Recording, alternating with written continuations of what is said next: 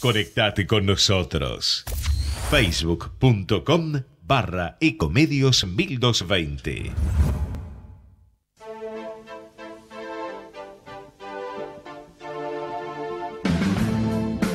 Al derecho y al revés. Las dos caras de la realidad. El yin y el yang de los temas actuales.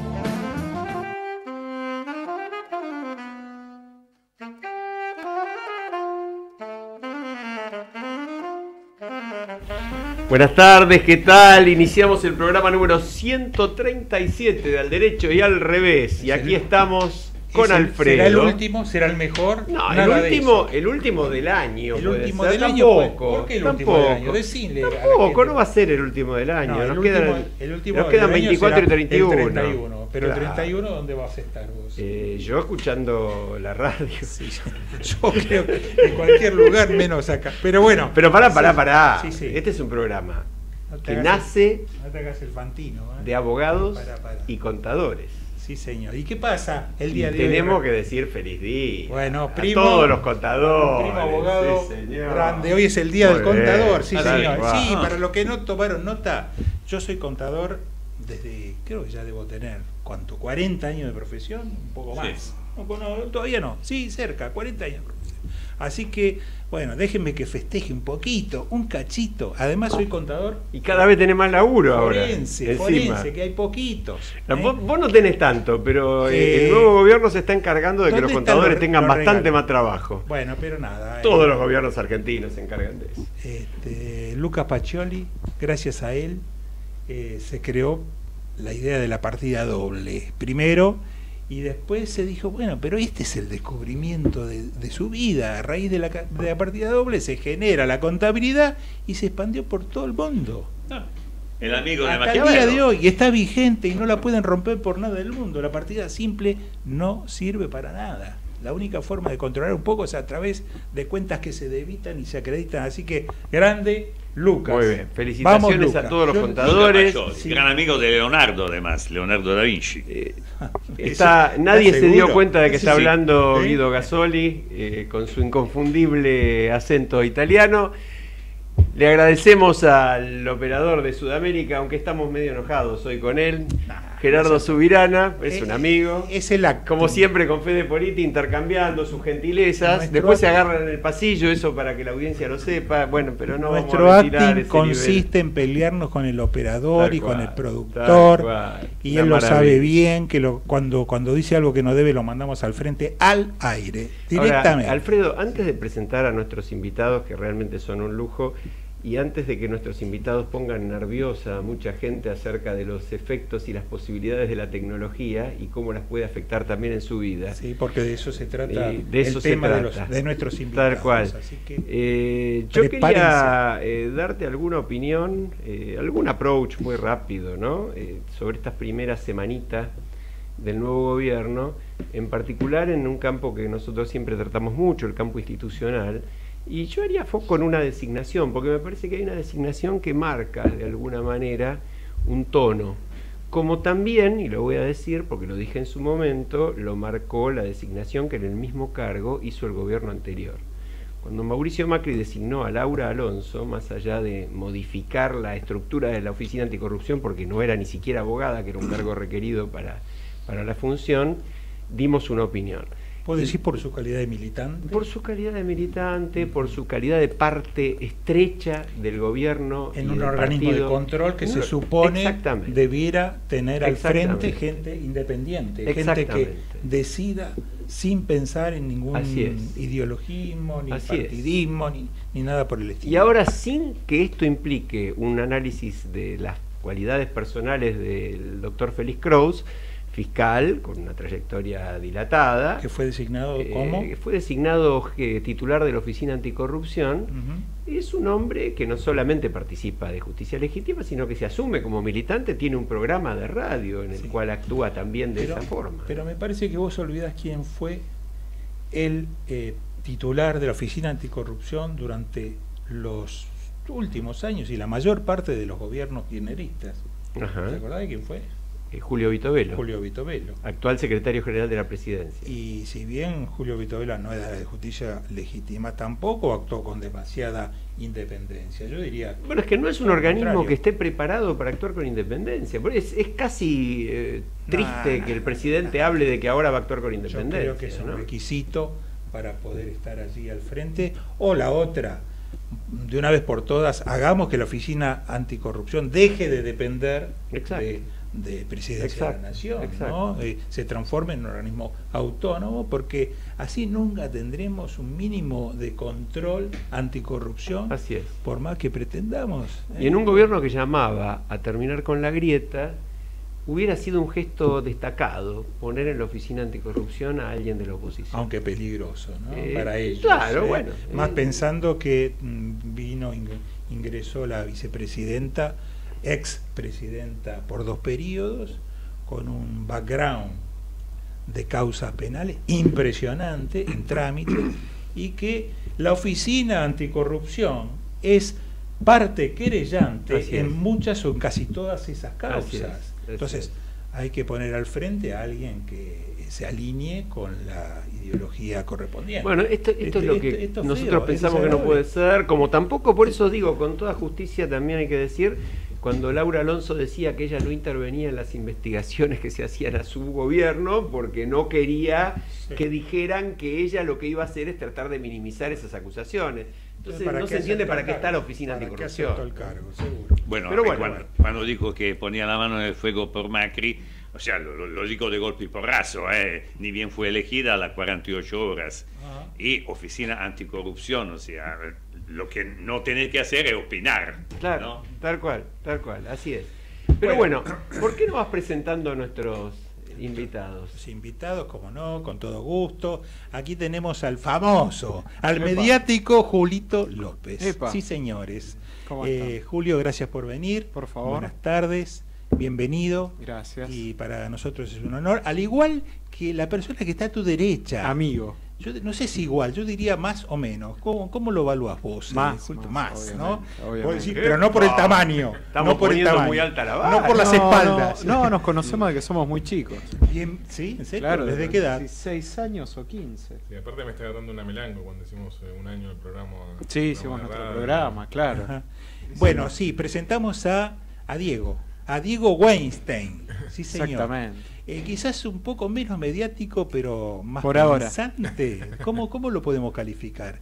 De- en, el, en el ROP, ¿ustedes son socios además o no? No, no, ¿No? no. ¿Fueron no, socios no, no, pero sí hemos eh, ¿Trabajaron juntos? Claro, eh, tanto yo como cliente de él. Ah, casi bien. siempre yo como cliente de él. Trabajamos mucho juntos. Me y, tiene de- y- somos tocayos y estamos en contacto y, y siempre ¿Se interconsultan ustedes en las Sí, cuestiones obvio. técnicas? discutimos. ¿Discuten? Discutimos. ¿Y sacan Mucho. algo bueno de esa discusión? No, nunca.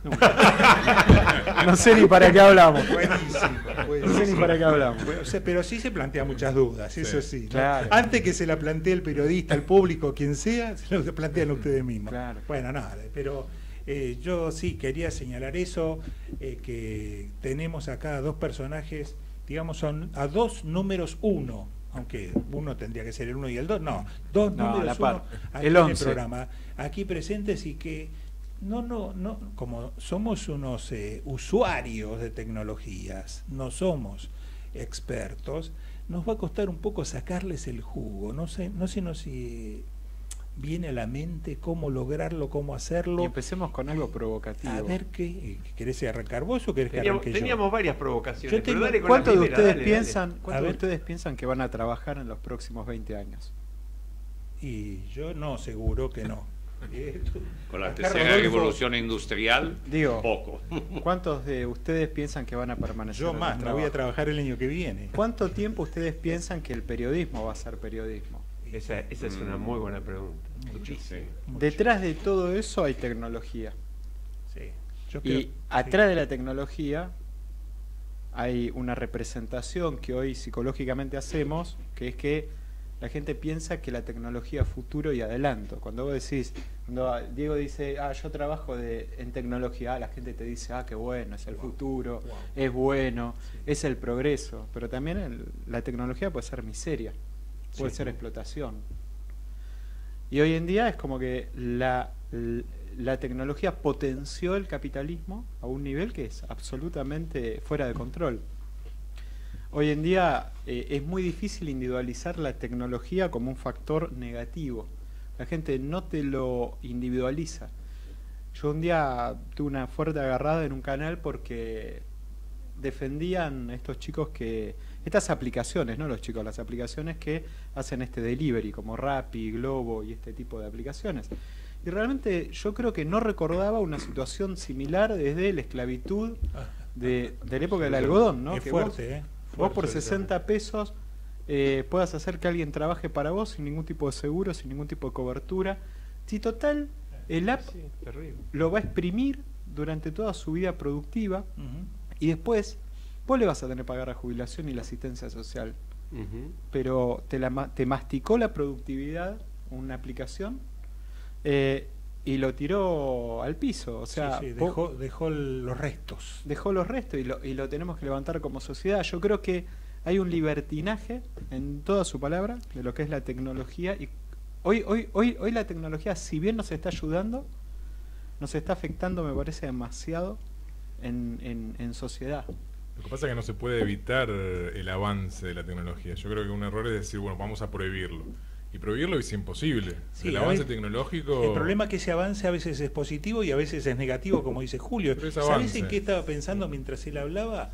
En los chicos, en los pibes, en mis nietos, que no le podés sacar el celular por nada del Sí, mundo. pero Alfredo, vos El fíjate, alma. eh, ellos es, es muy interesante la, la- el planteo inicial, ¿no?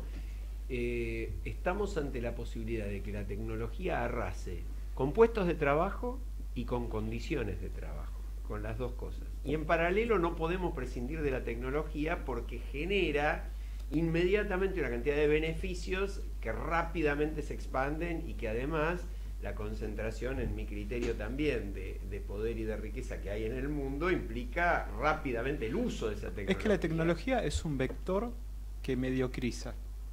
Yo dejé de ver la tecnología como un factor que exponencia, sino que mediocriza. Si vos lo, lo, lo ves a la tecnología y decís, ¿cuántos robots están en la industria automotriz para brindar calidad y cuántos para reemplazar gente? Ajá. ¿Ok? Entonces vos decís, una cosa es que un robot haga una soldadura y saque un tipo que se puede lastimar de un trabajo que puede ser peligroso, o un robot mina, o sea, un robot que trabaja en una mina, está todo bien. Sí. Después tenés robots que están en líneas de montaje para reemplazar a la persona. No importa la calidad, es más, la terminación que se les da a veces Es es, peor. es peor para que el robot lo haga mejor y se desempeñe mejor el robot. O sea, no se le pide tanto detalle. Y los autos más sofisticados, los de más alta gama, son cosidos a mano. ¿Sí? Entonces, eso es una cosa. Eh, la otra cosa es, cuando vos ves la tecnología, tiende a mediocrizar incluso nuestras comunicaciones. Nunca estuvimos más conectados que nunca y nunca fuimos tan mediocres en nuestras relaciones. Nunca. Como raza humana, nunca fuimos más mediocres en nuestras comunicaciones. Tendría que haber una política tecnológica que ordene todas estas cuestiones. ¿Cómo lo ves? Yo creo que el gobierno tendría que primero, los gobiernos tendrían que primero hacer una suerte de comité Mm. en donde vean ellos en qué cosas la tecnología está afectando para siempre. Por ejemplo, Desert News es un concepto que está viniendo ahora, que es lugares en el mundo donde ya no existe la prensa local. Ajá. Desert News. Desert News, o sea, desiertos de noticias. no existe más la prensa local. En esos, eh, ahora salió un estudio en, en el sitio político, se llama, eh, en donde dice que Trump ganó más votantes en los lugares donde menos prensa local hubo. Entonces ya hay un claro indicio de relación entre la calidad democrática, lo que votamos, lo que nos informamos, y el periodismo. ¿Y quién le tomó la leche al gato al periodismo? La tecnología. Los Claro. devastó. Me, me, me hace pensar en, la película esta tan extraordinaria, que parece un documental, la de Cambridge Analytica, ahora no, recuerdo el nombre, donde la manipulación de una elección en un país latinoamericano pasa por hacer a una comunidad que era muy significativa en el electorado desinteresarse de la elección por interesarle en otras cosas. Entonces a través de eso consiguieron que todos esos no voten y ganan los otros. Una forma de fraude Pero, sin hacer pero hay fraude. cosas que son positivas. Por ejemplo, vos, Diego, trabajás remoto para cualquier lado y eso te potenció porque te hizo crecer a vos como empresa para el mundo. Y si te da muchas más posibilidades. eh, totalmente. En ese caso es positiva la tecnología, Claro, pero no toda la tecnología es positiva. Entonces nosotros como seres humanos lo que hacemos es pensar que la tecnología siempre es positiva y Claro. nos entregamos sumisos Claro. a eso. Y lo que yo hoy en día, y te, te va a asombrar, pero no- no- nos encontramos en un evento hace muy poquito, Sí, el viernes Fopea. pasado, Claro. en Fopea, en donde di el- la primer charla para la concientización de los efectos de las plataformas en el trabajo periodístico y en la empresa periodística. Y es el primero que se da en Latinoamérica. Y vos decís, en Europa Google pagó 67 millones de dólares a, lo- a dos medios a los medios franceses por utilización de, de- de su información. La Unión Europea hoy los está ya directamente poniendo contra las cuerdas a Google y a Facebook. En Estados Unidos están afrontando su primer serio juzgamiento por posición dominante. Tal cual. En el mundo están contra la pared, en América Latina le mueven la cola. Entonces, lo que digo es, no es solo que los gobiernos tienen que hacer algo, nos tenemos que sincronizar de manera global. Si estamos viendo que Europa, que es una meca de, del derecho de lo que es la tecnología, está adoptando esta actitud, y Estados Unidos está tomando una actitud similar, nosotros no podemos estar tan descolgados. O sea, realmente somos bastante salames. En el medio, en el medio, lo que más te pone loco, o por lo menos a mí me pone loco, es ver estas empresas tecnológicas entre nosotros diciéndonos que ellos son el futuro, que nos vienen a ayudar. Es como ve invasión extraterrestre, ¿vieron eso cuando era más chico? Pero, pero es el capitalismo, vos no puedes pretender que ellos no quieren hacer más plata. El Acá tema es viene cuál la es el- discusión. ¿Cuál es el rol del, Del Estado? Estado, frente a ¿Dónde eso. está el Estado? Bueno, claro. ¿Qué tendría que hacer el Estado? Y capaz es una pregunta más para un contador. Es, ¿se puede regular algo? Por ejemplo, cuando nosotros decimos regulamos con impuestos la importación exportación, ¿no estamos regulando? Seguro, supuesto. ¿No estamos metiéndonos Sí, ahí? sí, sí, ¿Por qué sí, no regulamos Ahora, también Julio, la tecnología? perdóname una, una breve Acá digresión ahí. Eh, Guido. ya, ya te doy, Guido, una sola digresión porque me acuerdo del planteo de Bauman, ¿no? A partir del concepto de modernidad líquida y todo lo demás.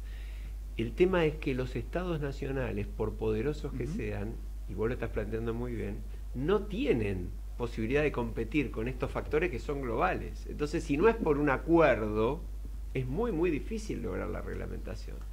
Eh, perdóname, Guido, que te Guido, sí. Sí, no, yo le quiero contar una experiencia que tuve en el 1987, después de Cristo, naturalmente, no obstante el pelo blanco, y que yo vivía en Japón. Y bueno, años antes había trabajado en una empresa italiana que se llama Pininfarina, dibujando coches. Entonces visité la fábrica de la Mitsubishi, vi la cadena de asemblaje de un coche. Y había un tipo atrás de una computadora con un un, un botón rojo.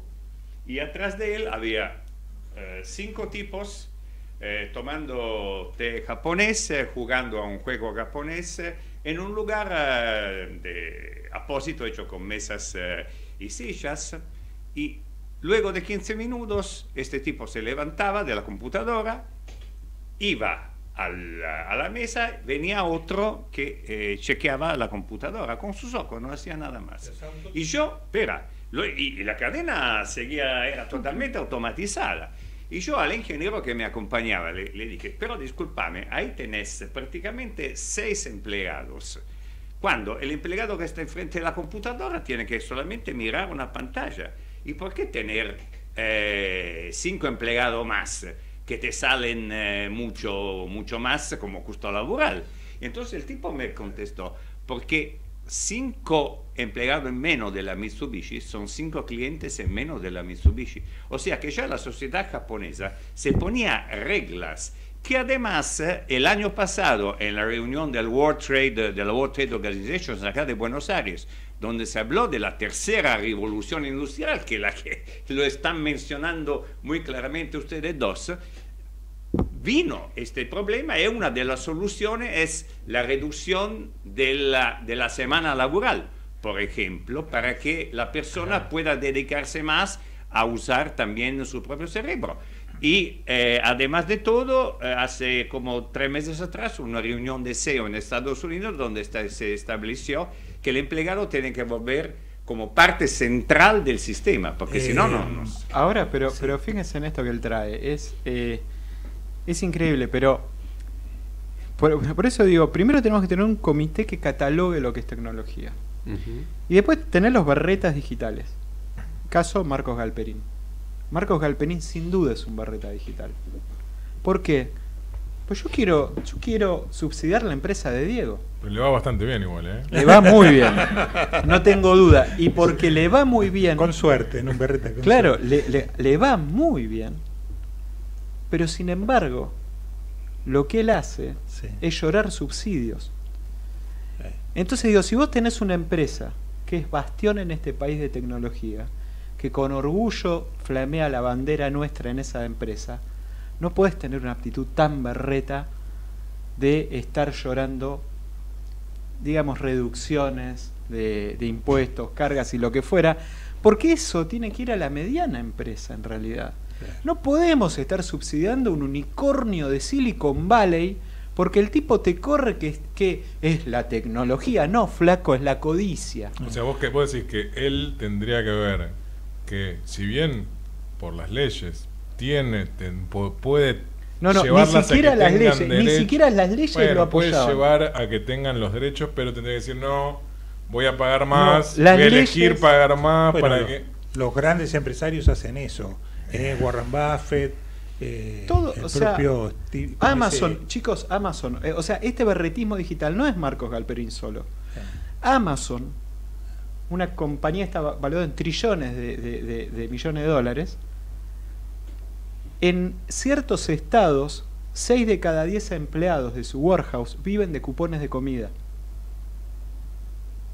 Por eso digo que la tecnología en este tipo de, no quiero decir monopolio, parezco un zurdo, pero digo, estoy diciendo monopolio, capitalismo, pero digo, en este nivel de concentración se vuelve tan violento que vos tenés una empresa que es ultra billonaria y los tipos le pagan, o sea, el nivel de salario hace que un operario de ellos, altamente automatizado todo, viva con cupones de comida. Entonces digo, acá hay algo que la tecnología nos está mediocrizando en todos los aspectos de la vida, desde la comunicación, cómo nos relacionamos, cómo trabajamos, porque está todo mezclado. Hemos, hemos puesto todo en una bolsa, lo hemos sacudido y hemos dicho tecnología. Eh, nos abriste los ojos sobre una cantidad de cosas que la, verdad que el programa derivó hacia un costado muy importante, interesante, pero que eh, nos deja para reflexionar creo que todo el año que viene. Ahora, vos planteaste un poco los aspectos quizás eh, no tan buenos de las tecnologías o de la tecnología. Y en, hiciste mención, quizás sin querer o queriendo, a la forma positiva que el caso de Diego utiliza la tecnología aprovechando ese trabajo a distancia desde su oficina, etcétera, etcétera, pero no le dimos el pie necesario para que nos cuente en qué consiste ese trabajo a distancia, cómo lo hace, más allá de guardar tus secretos si es que los tenés, pero que nos, que nos digas eh, la parte buena de esa tecnología.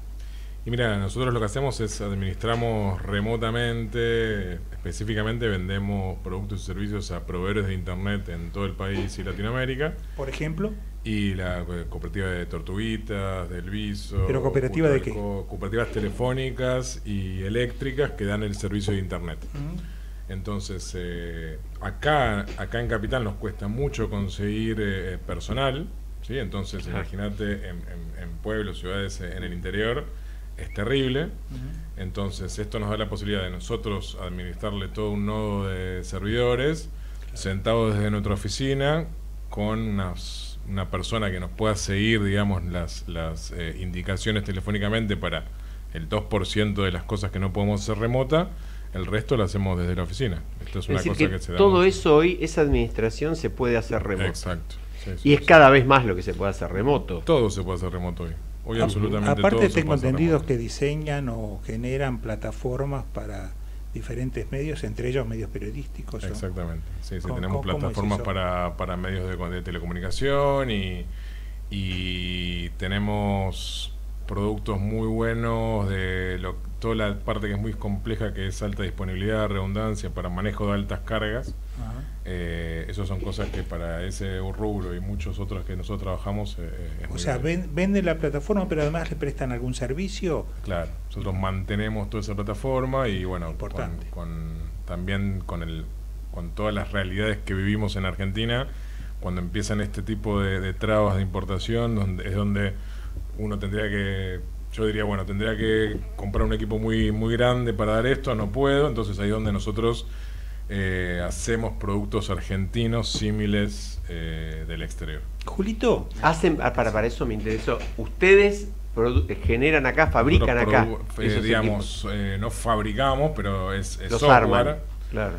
Hacemos todo el software que es el que va dentro de los equipos, similando, digamos, eh, equipamiento que uno en otros momentos sin, sin traba podría comprar de afuera. Bueno, pero eso me parece que en realidad es una buena medida Sí. porque genera desarrollo local. Pero claro, Seguro. es, es- eso, Lo es una, eso es una empresa de, contracara. de Claro. software. Es Lo que no podés software. fácilmente reemplazar es el hardware, porque ahí sí. Pero nosotros lo que hacemos es, eh, justamente como nosotros hacemos el, eh, nuestros, nuestros soft y lo podemos hacer específico, podemos usar hardware eh, más, más cotidiano, digamos, eh, ar- armamos servidores con lo- el equipamiento que uno se compraría para una PC hogareña, entonces hace que los costos sean mucho más económicos y más posible, porque hoy día no es nada más si puedo, eh, a cuánto cuesta comprar, sino que si yo voy a comprar un servidor es, ¿y cuándo lo voy a tener? Claro. claro. Dos, tres, cuatro, seis meses. eh, les hago una pregunta puntual de la actualidad de nuestro país. Hace días salió en los medios, fue la semana pasada, si no me equivoco, que a la ministra de Seguridad nueva, a la nueva ministra, la eh, que se llama Sabrina Frederick, o algo Frederick. estilo, le hackearon la cuenta de Twitter. Me parece que es esa la noticia que ocurrió.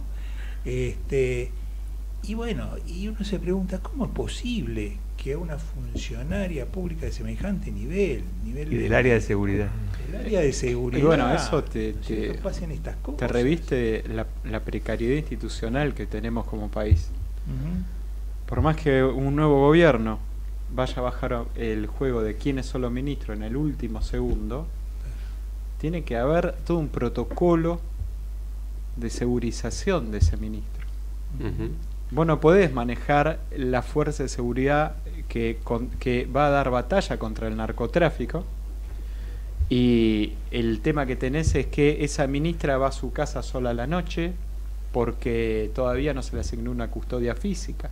Claro. O sea, realmente los partidos políticos tienen que entender que si tienen chances de ganar un gobierno, tienen que securizar a sus ministros antes que la gente lo sepa. Bueno, vimos al presidente manejando su auto, ¿no? Este, y así va la facultad y Yo, yo creo que hay, hay, hay, hay un montón de, de metamensajes que, que se están dando. Hay un montón de metamensajes eh, que es... eh, él transitó un lugar que es discurrir una persona común. Eh, y lo está impostando en, ese, en esa situación, ¿no? Está manejando su auto donde vos decís, no es cómodo para vos ir al centro en auto, no me imagino Menos, para mucho él. menos para él. Siendo Tal un cual. presidente, Tal usar cual. tu propio auto es un incordio, es un incordio para la seguridad.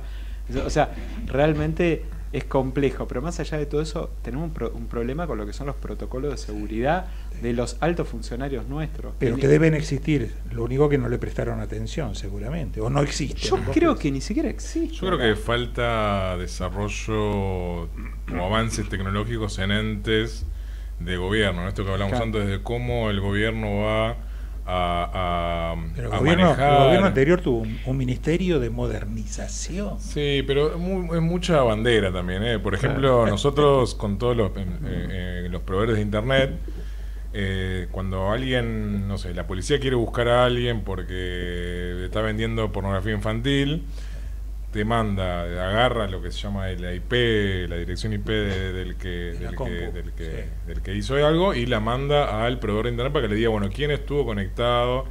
La realidad de Argentina, va, del mundo hoy es que se están acabando los IPs de Fijas. IPv4. ¿sí? Ah. Entonces está dando, se están ateando IPv6, o- o- otra- otras tecnologías. Sí.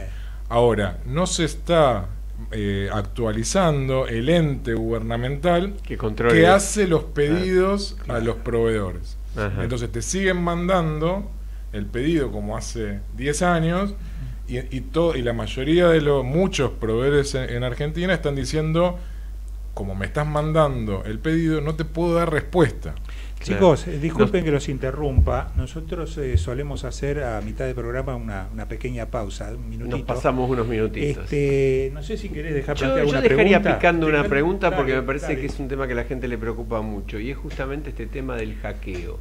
¿Qué hay en riesgo? ¿Qué hay en riesgo en lo personal? ¿Qué hay en riesgo en lo institucional? ¿Y qué respuestas se pueden dar? ¿Y en qué estamos igual, mejor o peor que el resto del Pero mundo? de- para después de la pausa. Muy bien. Ecomedios.com AM1220. Estamos con vos. Estamos en vos. Descarga gratis de tu celular la aplicación Ecomedios. Podés escucharnos en vivo, informarte con las últimas noticias y entrevistas en audio y video. Búscala y bajate la aplicación Ecomedios. Podés vernos en vivo en ecohd.com.ar.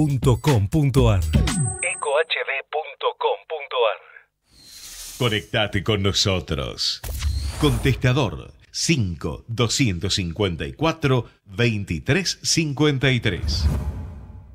Por fin, Deco Propuestas Decorativas. Empresa familiar dedicada a la decoración integral. Cortinas tradicionales, rolliers, romanas, orientales, verticales, venecianas, entelados, tapicería en general, toldos. Visite nuestro showroom en Honduras 4613, cuarto piso, oficina 402, Ciudad de Buenos Aires. Contacto al 15 44 78 60 87. Atención personalizada. También nos puede encontrar en www.porfindecoraciones.com.ar.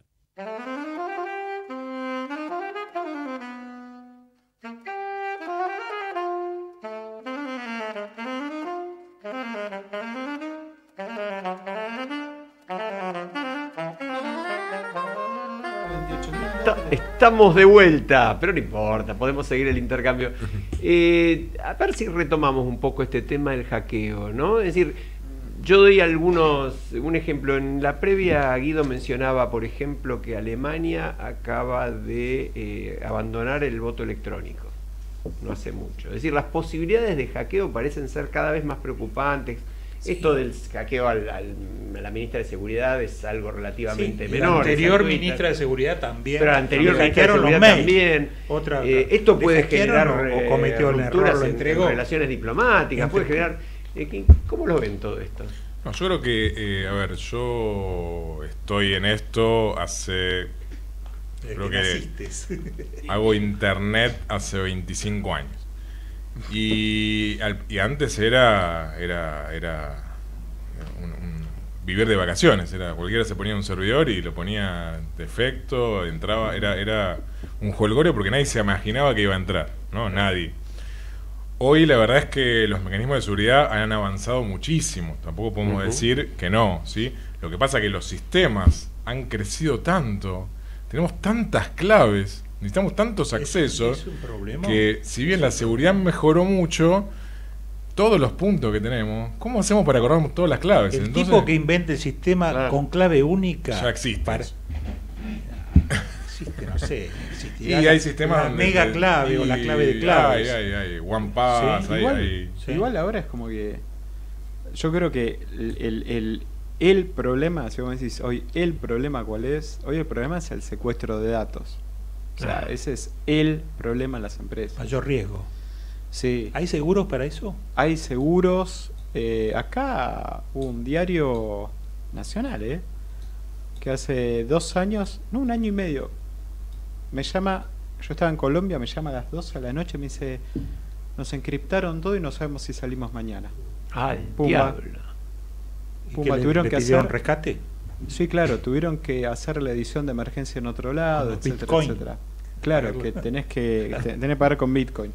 Yo creo que ese es un punto. Es más, hasta hubo estados en Estados Unidos la semana pasada, un estado que tuvo que decretar la emergencia informática porque le habían encriptado todos los datos. Digo, el problema acá es que hay bandas realmente profesionales Eh, ya no para eh, hackearte a vos y romperte algo, sí. es para sacarte plata.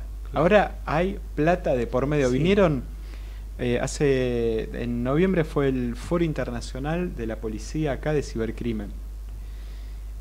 Y vinieron vino eh, Homeland Security y vino el FBI también.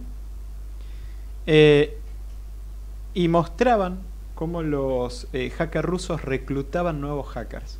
Ajá. Entonces, en todo el mundo. en todo el mundo. Entonces, obviamente para lo que es falsificación de tarjetas de crédito y reducción de, de ese tipo de, de cosas, tenían que necesitaban más gente. Entonces hacían un video como si fuera un spot en donde reclutaban mucha más gente. Eh, pero ya era una industria y mostraban que ya se había puesto de moda en ellos que los rusos viajaban a Miami porque el clima les gustaba y, y los detectaban porque compraban un piso, compraban todos los departamentos del piso, tiraban todas las paredes abajo y hacían un super loft. Eh, y eran todos rusos, eran todo, era todo dinero de la mafia del hackeo. Y ahí, eh, mira, porque tiene que ver con lo que hablamos al principio. Sí.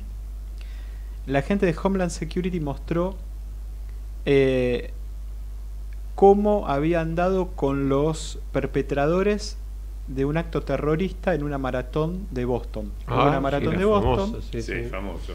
Bloom vuelan dos bombas eh, y ¿cómo es que se llama? Eh, bueno, matan a varias gente, ¿no?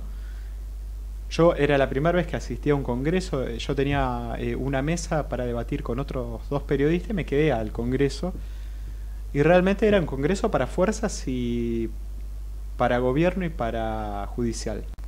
Entonces empieza Homeland Security a contar cómo habían hallado esto, entonces empiezan a mostrar todos los videos y obvio, yo no había calculado que estos tipos mandaban fotos como venía, realmente eran terribles, terribles, porque estaba todo el material de verdad. Entonces, ellos dicen, muestran la camioneta que usaban, o sea, ellos muestran el desastre, ¿no? Cuando se produce, muestran cómo ellos cercan las zonas, cómo disponen las camionetas que hacen las pericias, muestran el equipamiento adentro de las camionetas, muestran todo y de repente llegan hasta el punto de decir cómo los encuentran. Entonces el tipo dice, bueno, interceptamos todos los teléfonos, pedimos toda la información de las torres celulares, y de repente dice, ¿y cómo dimos con ellos? Tuvimos que llamar 10 especialistas en comportamiento. Ajá. Toda la seguridad electrónica del Homeland no sirvió para encontrar a esa gente Qué bárbaro. agarraron 10 personas especialistas en comportamiento, los hicieron ver todos los videos y de repente uno dice, son estos dos.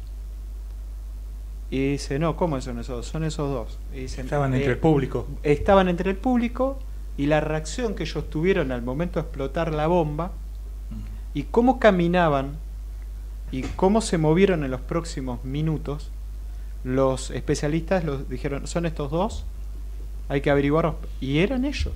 Sí, la, la- O sea, Es decir, fíjate la que tecnología no alcanza. Exacto, lo no gestual. alcanzó. Lo, lo la valioso que expresión es, corporal es Sí, mm, lo valioso increíble. que es el ser humano. Es la Bueno, ya, allá hay un software que lo pasaron el otro día, que la asunción presidencial en el Congreso de la Nación de la semana pasada pasaban eh, la cara de cada una de las personas que aparecían en pantalla, que vimos en los televisores, con varias líneas que indicaban los gestos que iban haciendo y qué es lo que estaba pensando y, y qué es lo que estaba sintiendo cada una de esas personas en cada uno de esos cuatro, cinco, seis ítems que tenía. Y iba variando. Sí, sí, lo vi. ¿Lo viste? Lo vi. Me pareció fenomenal, pero eso es real, existe. Yo lo que digo es, yo creo que son todos actos marketineros. Ah, bueno. Yo, hoy en día, a mí la computadora no me asombra. O sea, realmente ver que una computadora detecta si estás contento o triste, no lo necesito, porque tengo el- soy lo suficientemente humano para que mis células mentales empáticas me digan cómo estás. Eh, yo creo que hay todavía una generación que está todavía descubriendo la tecnología. A mí realmente no me, no me causa asombro hasta llega un punto que lo veo como movimientos marketineros que digo, porque ¿qué pasa? Si vos te fijas hace tres años atrás, a todas las empresas le vendían todo un sistema de inteligencia artificial para saber si la comunicación de tus usuarios de Twitter, si eras una marca, estaban contentos, tristes, y eso, si eran hombres y mujeres, que las mujeres estaban más tristes. Pará, flaco, vos necesitabas todo eso. Eh, Muy déjeme que, que haga un, muy un replanteo, un repaso de, de- de- así rápido. Tenemos presente acá, para los que recién enganchan el programa, a Julito López. Julito López no, no requiere presentación, todo lo, vimos, lo vimos en todos los canales en, de televisión, en los principales canales, los principales programas. En la radio la escuchamos permanentemente, así que no.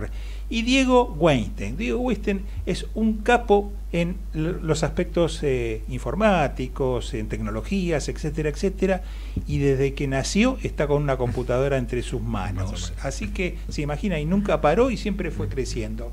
Pero no es a él a quien me quiero referir, ni a Diego ni a, ni a Julito. Quiero referirme a mi amigo, que está aquí presente en la sala y que se llama, ¿cómo se llama? Rodolfo, es el papá de Diego, que es un tipo que se la pasa mirando Twitter informado que hasta lo hacemos un poco de goma, lo gastamos, la, la mujer, el hijo, la hija también supongo que lo estará criticando a todo. ¿Qué pasa? ¿Por qué nos atrae tanto la tecnología? ¿Por qué a los grandes y a los chicos nos insume parte de nuestras vidas? ¿Y cómo podemos luchar contra esa realidad? Hay, hay un libro que se llama, eh, no sé si no es Homo Sapiens, que es de Harari, Harari, extraordinario.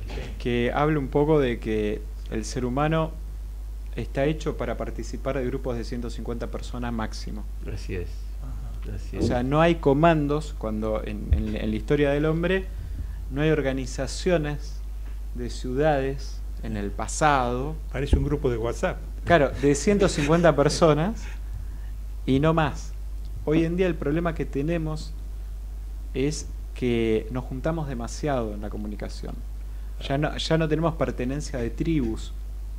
Eh, cuando vos sos joven, lo que buscás primero, psicológicamente, es la pertenencia a una tribu. Quizás la de Diego, la mía fue la misma, que es la tecnología.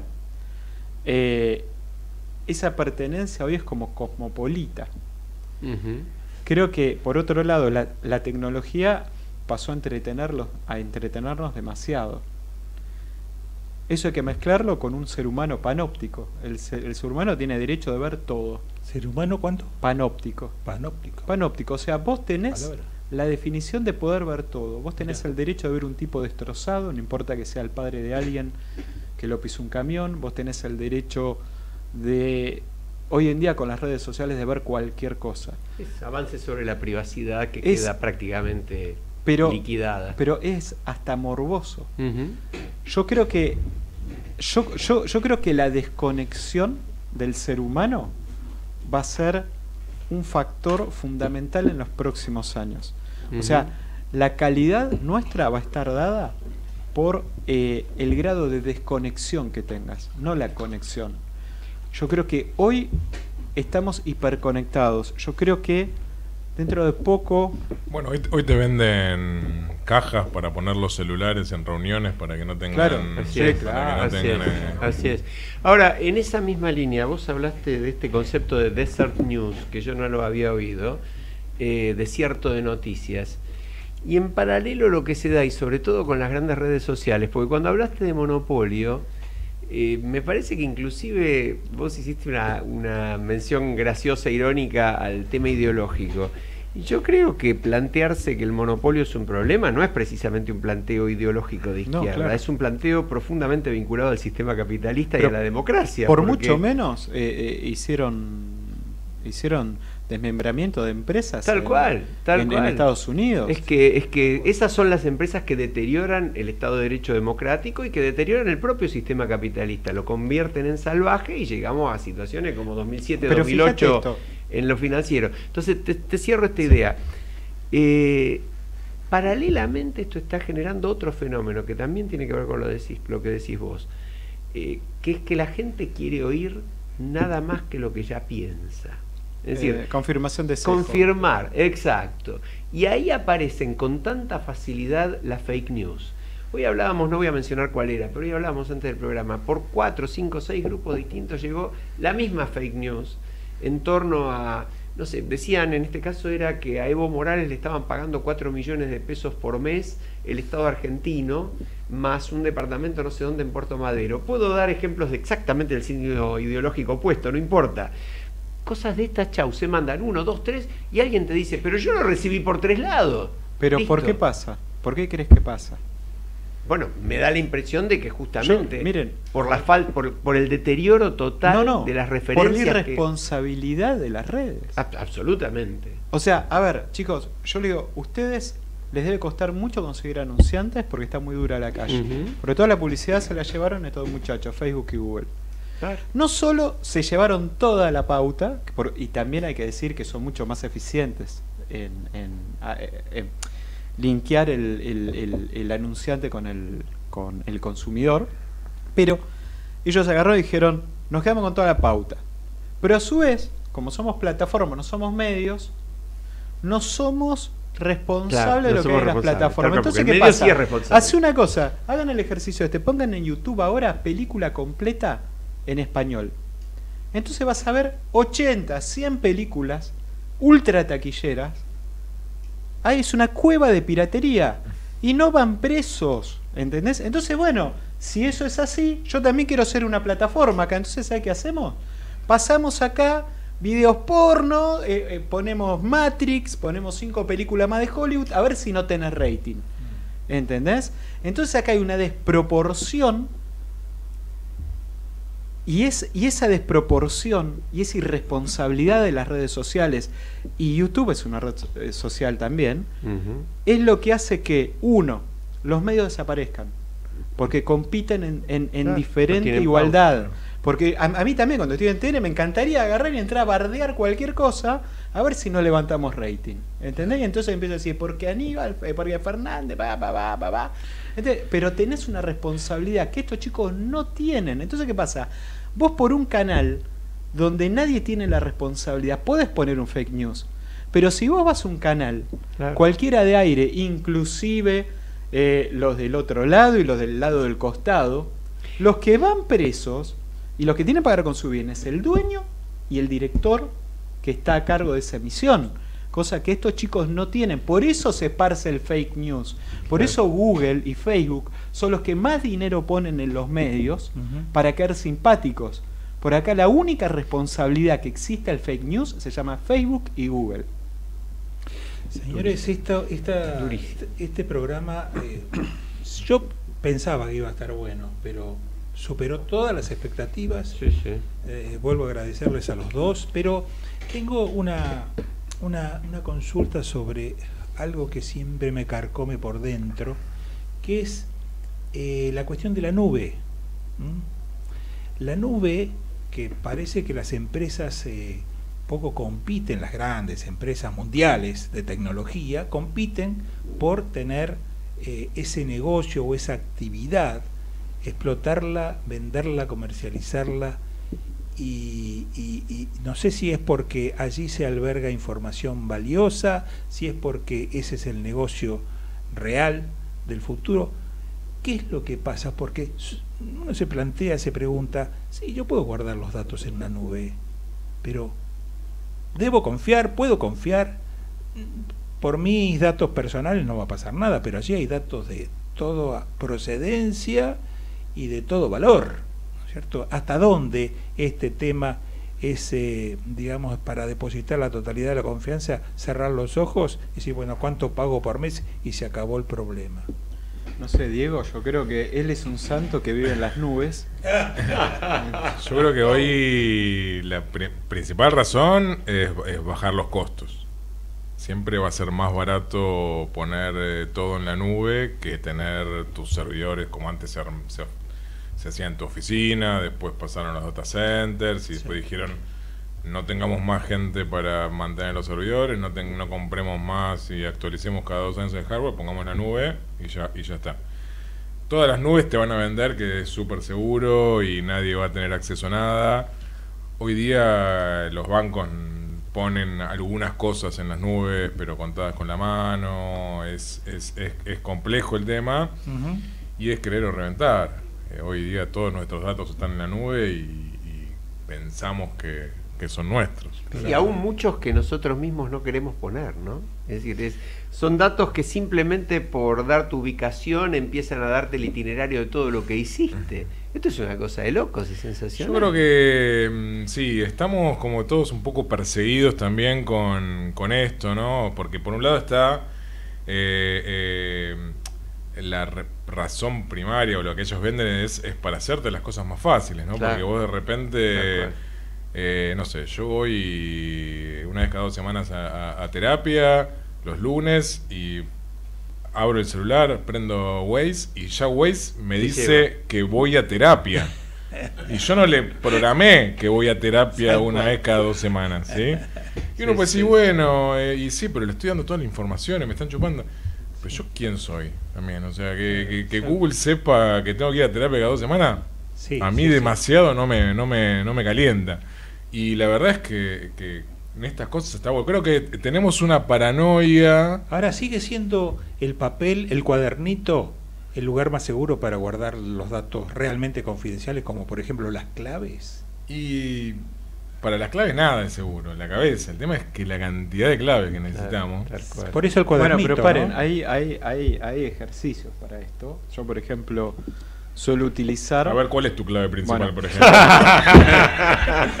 Yo- Queremos saber. Yo te cuento, yo, yo te cuento, yo que estoy leyendo una línea que dice el salón Eva Perón. ¿No? Entonces, yo sé que mi frase entera es el salón Eva Perón.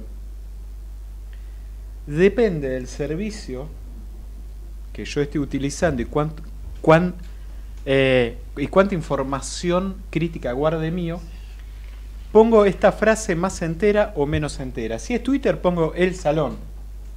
Si es mi clave bancaria, utilizo el salón Eva Perón. Pero hay sistemas. de- ¿Entendés? O sea, tra- tra- o sea, no me salgo del salón Eva Perón y lo que hago es, es difundo la mitad del password cuando es servicios que a mí no me mueven el amperímetro. Cuando es un home banking, sí utilizo la totalidad de la frase que tengo de cabecera como mi password. Y si necesito poner número, peso, número, al- algún número o, o carácter extra, lo pongo todo al final. ¿Entendés? Entonces así mantengo una coherencia de dos, tres passwords en mi vida con diferentes Y cuando complejidades, tenés que acortando, cambiar, alargando. y cuando tenés que cambiar, porque después tenés que cambiar. Y bueno, hay un momento que tengo que Le cambiar sumás todo. uno al final. no, no le pongo y cuando viejo. tengo que volver a cambiar, se lo resto. Claro. Es posta. Le pones posta.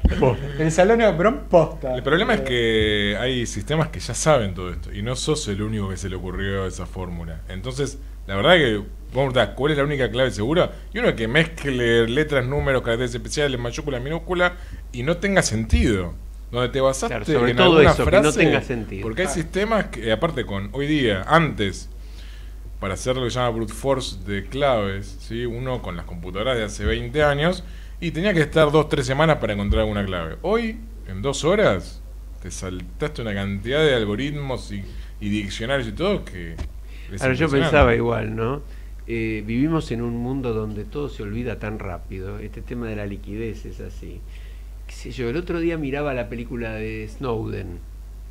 Uno ve todo lo que denunció Snowden. Y hoy por hoy la audiencia debe estar preguntándose quién era Snowden. Ah, es Para ese la que está en Rusia. ¿Por qué era? Miren, Es, es de locos. les dejo un tema para la próxima. Dale.